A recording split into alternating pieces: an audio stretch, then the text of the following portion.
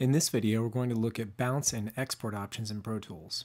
There are three basic ways that we export game audio from a Pro Tools session. Bounce to disk, bounce to tracks, and export clips as files. First, let's take a look at bounce to disk. Bounce to disk is the most straightforward way to get your audio out of Pro Tools and onto your hard drive. Bounce to disk takes the output of a bus, typically your stereo mix bus, and records it to a file on your hard disk in real time. This is probably the simplest method for exporting because it doesn't require any additional setup on your part. But the disadvantage is that you have to repeat the process for each clip or portion of your session that you want to export. There are a couple of things you'll need to do before you execute the bounce to disk command. First, if you're exporting to a lower bit depth, you'll want to make sure that you have a dither plugin instantiated as the last insert on the master fader. So I'll choose an insert on the master fader, I'll go to multi-channel, dither, and I'll choose the POW-r Dither plugin. As I've previously mentioned, the POW-r Dither algorithm is the best algorithm that Pro Tools has to offer, so you'll want to make sure that you're using this one whenever possible. We'll want to make sure that the target bit depth is set correctly. And there are three noise shaping options. The first type is optimized for simple program material like spoken word or solo instruments. The second type is optimized for material with a limited dynamic range, like rock music that has been run through a limiter. And type 3 is optimized for program material with a wide dynamic range, like a classical orchestra.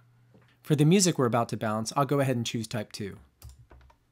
The next thing I need to do is designate the area that I'm planning to bounce. In this case, I just have a simple two-bar music loop, so I'll go ahead and choose the two bars plus a little extra so that the reverb tails aren't cut off. Then to initiate the bounce command, we can go to File, Bounce to, Disk, or we can use the key combination Option Command B on the Mac or Control Alt B on Windows. Then the bounce dialog will appear. In the bounce dialog, you'll want to set the bounce source, which for us is our stereo mix bus, the destination file type, which is typically WAV, but might also be MP3, the format, mono, multi-mono, or interleaved. The bit depth, and we've already determined that our target bit depth will be 16-bit. The sample rate, and you can see there are a lot of options here, but we're going to keep it at the native sample rate, which is 44.1 kilohertz. Next, you'll see conversion quality, which offers options from low to tweakhead. Now, many years ago, you might choose low because it would take the least amount of time. On a modern computer, there's really no reason not to choose Tweakhead every time. There are a few other settings in here, like enforcing Avid compatibility for Media Composer, conversion options which include convert during bounce or convert after bounce, importing back into the session after the bounce, adding it to your iTunes library, or sharing with SoundCloud. But we'll just work with the defaults for now. So I'll go ahead and click Bounce. The Save Bounce As dialog will appear, and we'll go ahead and type in a name for the resulting audio file. Then when I click Save, Pro Tools will go ahead and execute the bounce.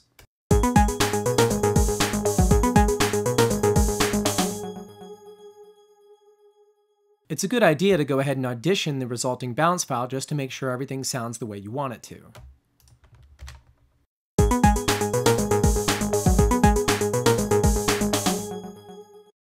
Next, we'll take a look at bounce to tracks. Now it's important to understand that bounce to tracks is a recording technique. It's not actually a specific command in Pro Tools like bounce to disk.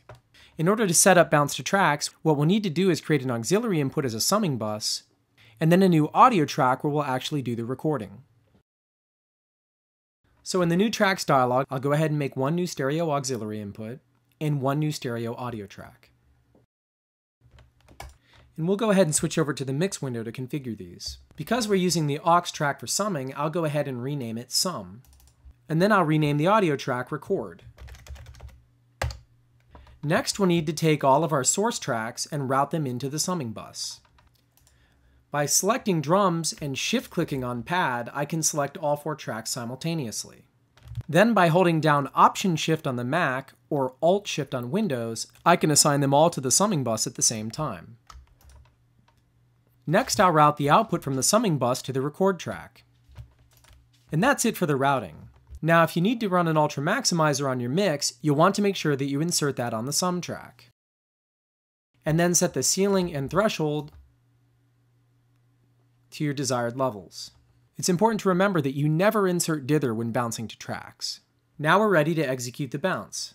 I'll go ahead and make my selection, record arm the record track, and then I'm ready to go.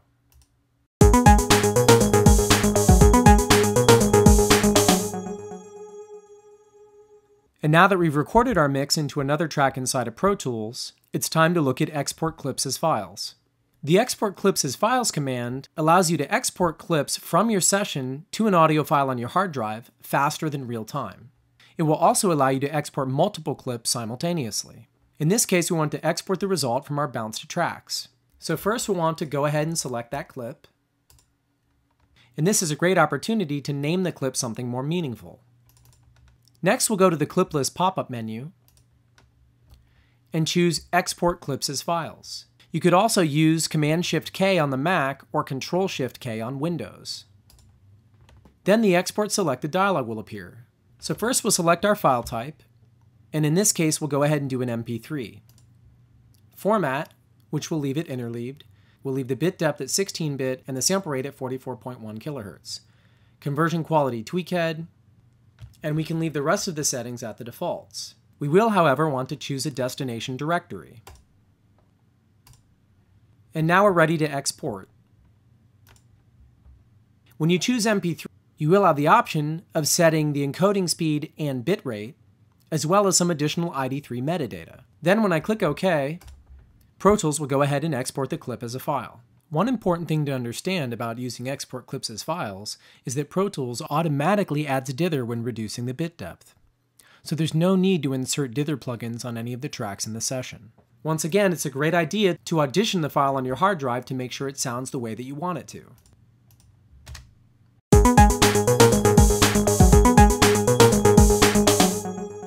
So those are our primary bounce and export options in Pro Tools.